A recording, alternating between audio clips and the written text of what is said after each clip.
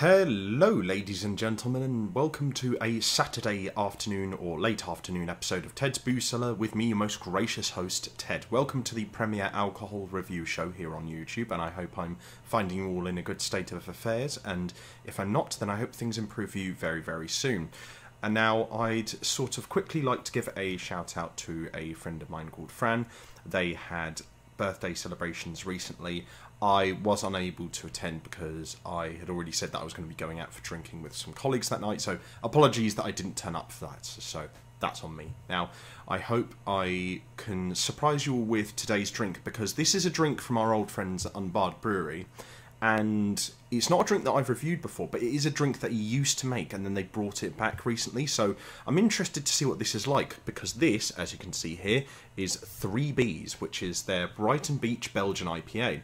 It has ingredients here of water, barley, wheat, hops, yeast, and it's brewed and canned at the Unbarred Brewery itself. And it's vegan as well, actually, this one, so that's quite interesting. And the description they gave of it on the Unbarred website as well is that they are just generally excited to have it back. There was a concept, or at least the concept for 3Bs was designed by Unbarred Brewery's Jordan, who is their head brewer and it basically goes into the size of the equipment they use and sort of how they burn down some of the ingredients to put in the beer. So it says here, for example, with the 50 litre equipment, Jordan and Rob took a metal pot and gas burner down to the beach with water, malts, and hops.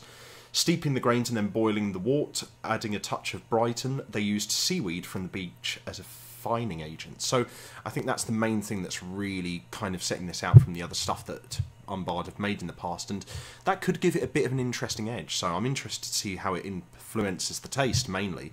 What I will say is that the can doesn't really give much of an impression of that's kind of the thing that you're getting in for is a seaweedy beer. Like I only really knew that by reading into the beer on the website. But here, I will say it is an interesting design of a can. The contrast between the red and black writing against the yellow background with the red and black sort of art design is really nice. So I do quite like the way that the can looks. So I'll give the design of the can honestly like a 9 out of 10. I just wish there was a bit more of a description of the beer itself on the can. But generally speaking, I can't really complain too much. So it looks nice. Yeah, I'll give it a 9 out of 10. It's very artsy, but in a simple way, and it's got some colours that really contrast quite nicely against each other, so that's quite nice. But anyway, let's have ourselves a quick snifter. Hopefully, our first impressions are good. Oh wow, it's a very strong nose, but um, no, it doesn't overstay its welcome too much. To be fair, it's quite a straightforward nose. It does have kind of a sea air kind of after smell to it.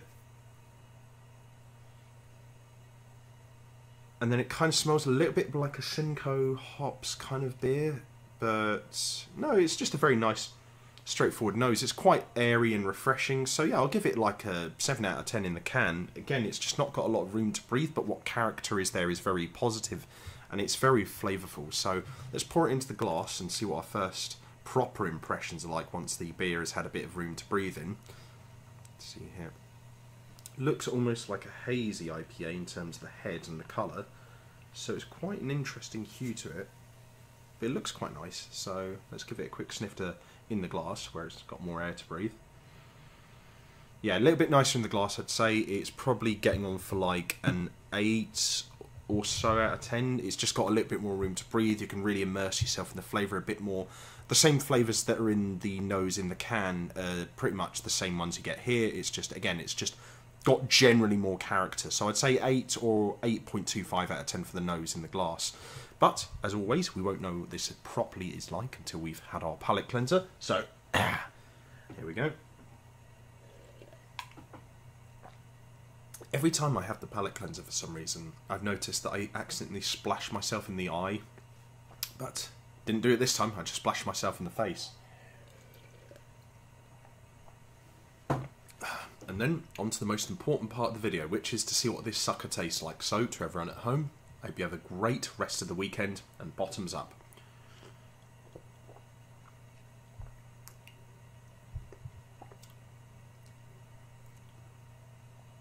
Weird one. Um, not massive fan of the initial taste. The after. Um, actually, I'm not sure about this one. Mm. So the initial flavour hasn't got a lot of carrot. Um, it has got this sort of like hoppy sort of bitterness to it that I quite like. The um, end of the flavour is quite interesting. It's sort of very hazy. It's a little bit sweet, a little bit bitter. It's just a very simple, nice, balanced flavour. But then there's this aftertaste after you've swallowed it all down. Once it's sat in your taste buds for a few seconds, that I'm really not sure about.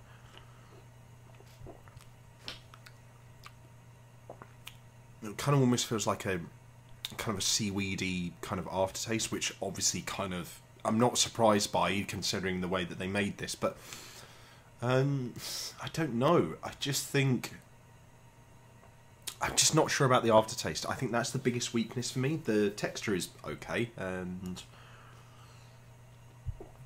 could do with being a little bit smoother towards the end. But the main through line of the flavour is nice. You've got this kind of sort of slightly bittery IPA kind of flavour is the main through line.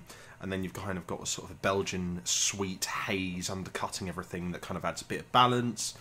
And then you've kind of got this slight sort of tart tang overcoating everything a little bit as well. And then the aftertaste of that kind of seaweedy aspect does add a really interesting contrast to it. But I don't know if that kind of flavour really mixes particularly well with the Belgian beer flavours you've got going on here. Yeah, I just I think I like the idea, but I'm just not sure if I would have used Belgian beer yeast to go along with this. I think obviously my favourite types of beers in the world are Belgian ones, but I'm just not sure about it here. I think the flavours individually and of themselves are all good. It's just I think that they do clash with each other a little bit, particularly towards the end. So I will say this probably isn't quite 475 in terms of the price, which is what I paid for it from the Seven Cellars alcohol store. But I think it is still good generally, and I think the flavours that are here are nice, and the concept of it is great. And I wish more breweries would do stuff like this, but I just think the mm, I'm just not sure. I just think the flavour of the yeast that they use doesn't really contrast nicely against the flavours from the aftertaste. But that being said, it's still generally a good drinking experience, and the flavour is simple enough that I think that most people can kind of get their heads around it and enjoy it. But I'll give it a. Uh, I'll give it like a six out of ten. I do like it. I just think it's one of the probably the weaker ones I've had personally from Unbarred. I do prefer other beers from them. I tend to prefer them more sweet and tart beers and their more creamy chocolatey ones as well. So like their stouts and like their sours I really like, but this it's not one of their best, but I think I can definitely see what they were going for with this. And generally, I do kind of like it. I do think it's a good beer, and I would recommend it. But I'd just say go into it with a blank slate, so that you know you're not surprised too much. I guess I would say. But generally speaking, it is actually quite nice. So yeah, leave a like, comment, share and subscribe down below if you enjoyed this video. As well as that, comment down below if you have any suggestions for future beers I should review as well as any other video formats I should look into. As well as that, and if you're interested, I'll leave the links to all my social medias in the video description down below. And on top of that, until next time, have fun, stay safe for whatever you're doing, don't do anything I wouldn't do, wash your hands, drink responsibly, know your limits, and I'll see you guys at the bar next time on Ted's Booze Cellar. Bye bye for now.